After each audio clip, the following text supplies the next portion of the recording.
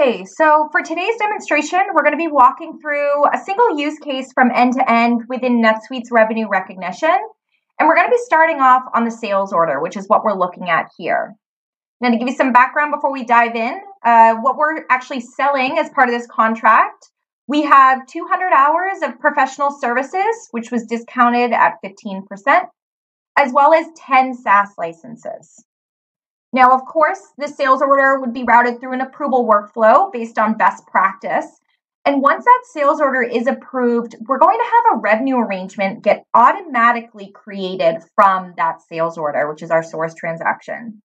Now, you can think of the revenue arrangement as your revenue contract. It holds all of the revenue information for this particular order. And all of this information, again, came from our source transaction as well as the default settings assigned to some of the items, which I can talk about a bit more. Below, we have our revenue elements. We have two revenue elements, one for the professional services and one for the SaaS license. Now, each revenue element really represents our independent performance obligations. That's another way you can think of the revenue elements. Now, the first thing that I want to point out is that revenue allocation, it is automatically occurring and happening upon creation of our revenue arrangement. So, right away, I'm able to review how much revenue was allocated across each of our elements, our revenue elements. And this can be a huge time saver, right, for those of you that are performing these calculations manually in Excel.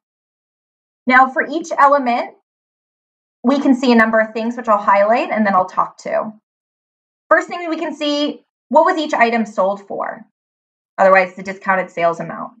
Next, we can see what the calculated fair value amount is for each element. And then how much revenue are we going to be recognizing? And again, that's because NetSuite's automatically allocating your revenue.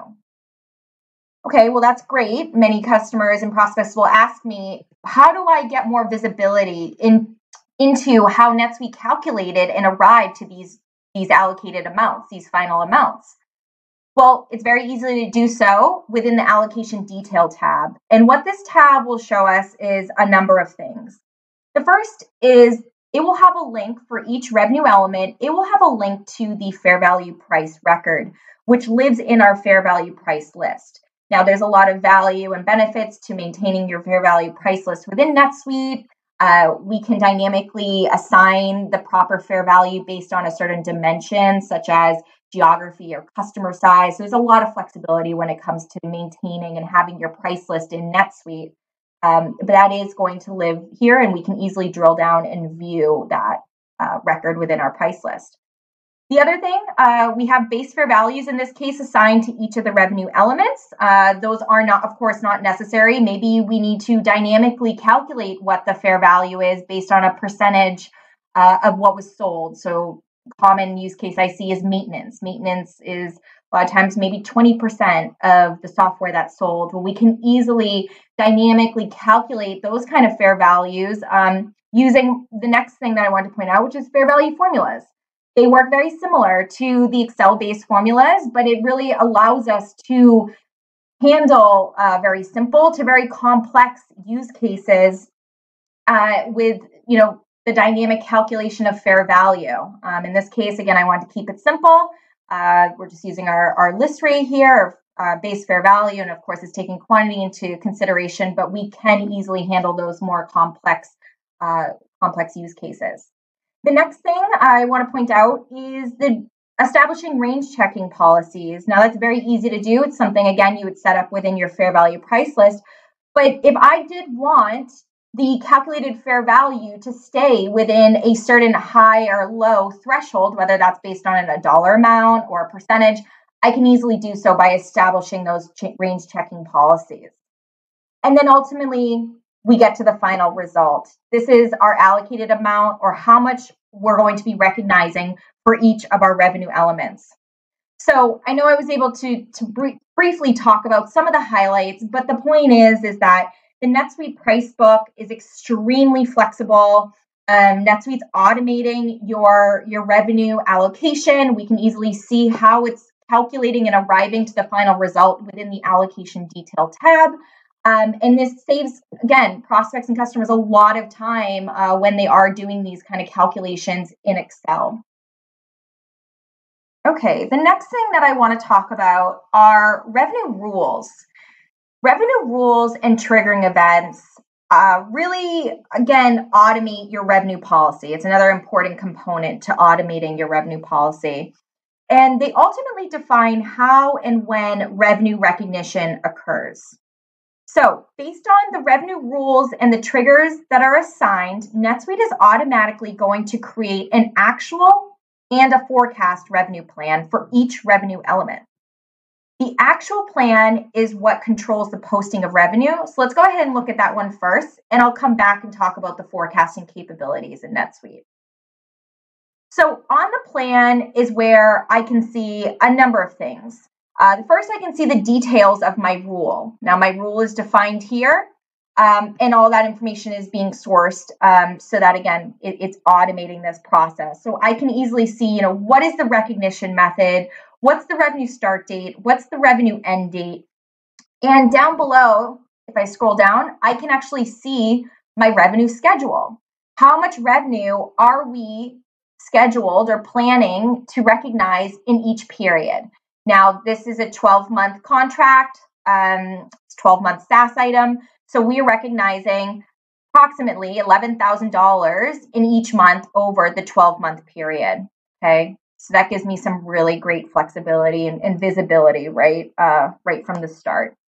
Now, all of these defaults, I talked about them a little bit, um, but such as the revenue rule, right? we have a number of default settings set on the item record that help automate this process. But of course, there are times where um, we need to make changes and, and, treat them at the exception basis. So the point is, you are able to easily edit an arrangement and make changes if need be. For example, I can change the revenue rule. Uh, I can change the start and end dates. I can even place revenue on hold if needed. So these kind of important inputs can, can be updated during the plan's life cycle. And you can make these changes in bulk as well. If I needed to place revenue on hold for a number of contracts, or if I wanted to update the revenue start date for a number of elements, I can easily make those changes in bulk. So the point is, is that the arrangement and elements are not completely fixed when they come over from the source transaction. You do definitely have the ability to make changes. Now let's talk about the forecasting a little bit. Um, and let's ignore this actual plan. Uh, to save some time, I've already gone ahead and fulfilled our item, but I'll talk about what happens before that actual trigger event of fulfillment in this case. So forecasting. Um, in this scenario, for our professional services, we do not recognize revenue until we actually deliver or fulfill those hours. Um, therefore, until that fulfillment occurs, we would not have an actual plan. We'd simply only have a forecast plan. And that forecast plan allows us to uh, forecast when we expect to deliver those hours. So, for example, I have a two month forecast rule assigned because typically we expect to deliver those hours within the first two months of the contract. So, by having these forecast plans, we can easily forecast and view when we expect to deliver this revenue. And we have a lot of forecasting reports available where you can see this information. Now, of course, at month end, you can easily reforecast your plan so that the forecasting reporting is up to date with the latest information. Now, again, to save some time um, so that we could get through everything in today's um, demo, I have gone ahead and fulfilled those 200 professional services hours. Now notice that I have a revenue start and end date of 415, of April 15th. And that is because we actually delivered those hours on the 15th. And so we had, upon fulfillment, NetSuite's going to create the actual plan. And this could also be not only for fulfillment, for, for billing as well. If you have certain items or revenue um, that you don't recognize until you actually bill, or based on a percentage completion for project revenue.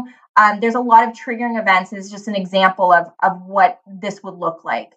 Now, because we recognize in this scenario all of the revenue in full based on when we deliver, you can see that we're going to be we're scheduled to recognize all of our services revenue in the month of April. Okay, so that's just an example of how you can use forecasting plans and when the actual triggering events come into play to generate the actual plan. So, um, moving forward to month end, we are now ready to post our journal entries. So I'm here on the Create Revenue Recognition Journal Entry screen, and down below we can see all of our items. I have it filtered for our customer. Uh, we can see that we have our SaaS license uh, for the first month, that related revenue waiting to be posted, along with that professional services that we're recognizing in full because we delivered those hours in this month. So right away, I can see the items that are waiting to be posted. Now, of course, I'm doing this the manual way uh, for demo purposes, but we also have a way to schedule the revenue recognition journal entries um, so that you wouldn't even need to run this month end process, uh, you know, based on a schedule, whether you want your journal entries posted every six hours, daily, weekly, monthly, whatever it is. Uh, we can have that process automated for you um, so that from the time we approved the sales order, we could have already had posted revenue to our P&L. So we can make this process really as automated and as touchless as needed.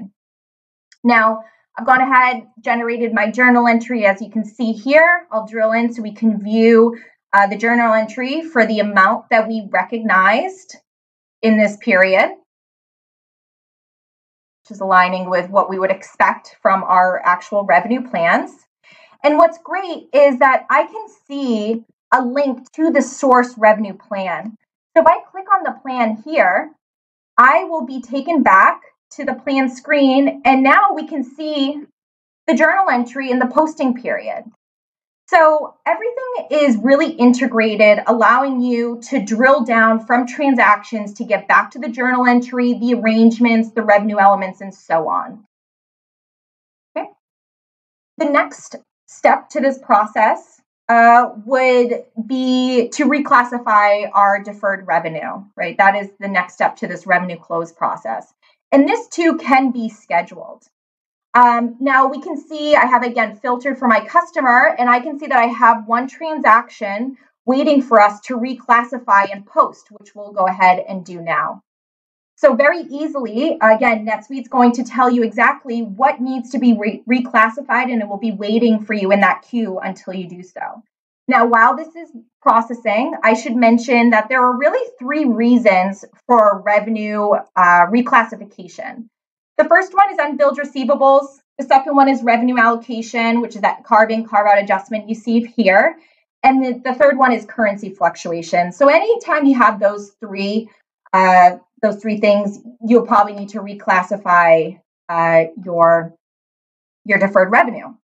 And NetSuite's going to automatically, as you can see here, calculate the reclassification amount for you. And there are reclassification reports available that provide you with a lot of detailed information about how the reclass journal entry amounts are calculated for each line item. Okay. So NetSuite is smart enough to assist with these reclassifications, and that can be a big assistance since the reclassification process is probably one of the larger asks during the month end process. Now, I want to move forward with reporting, which is key when it comes to automating your revenue policy and having the right visibility to properly manage your revenue recognition. Now, NetSuite has many, many revenue reports, um, but given the time that we have today, I want to highlight a few of my favorites. So, the first report that I want to look at again is the Revenue Recognition Forecast Summary Report. A couple things that I can see right away. Uh, right away, I can see the revenue that I've recognized for both our professional services as well as our SaaS license in that first month of our contract. Additionally, I can see what is remaining in our deferred. So, what is planned or scheduled revenue for our SaaS license over the course of the next 11 or so months. We can easily see how much revenue we're going to be recognizing as we move forward uh, in, in coming periods and months. We can also see what we originally forecasted for our professional services. Now, of course, this would come into play um, if we hadn't fulfilled those hours in this month. We would be able to easily see that forecast plan, um, but we can still see what we originally forecasted.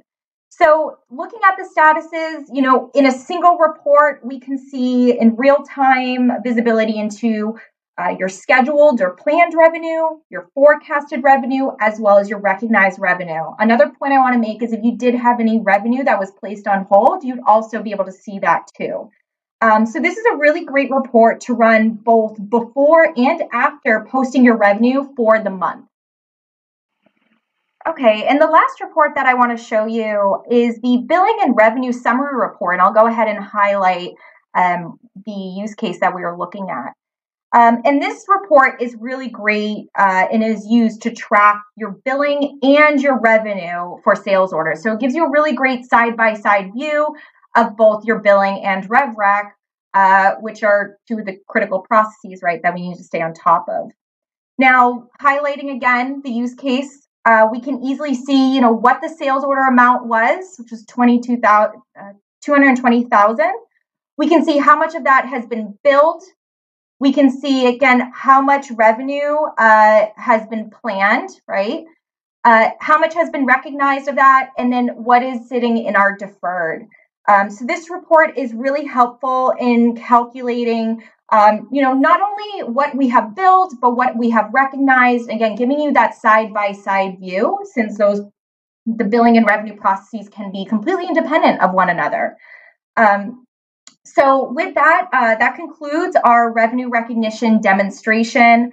I hope that you were really able to see today how NetSuite can automate your entire revenue policy and really allow you to easily manage your revenue recognition process through the extensive reporting and automation that's available.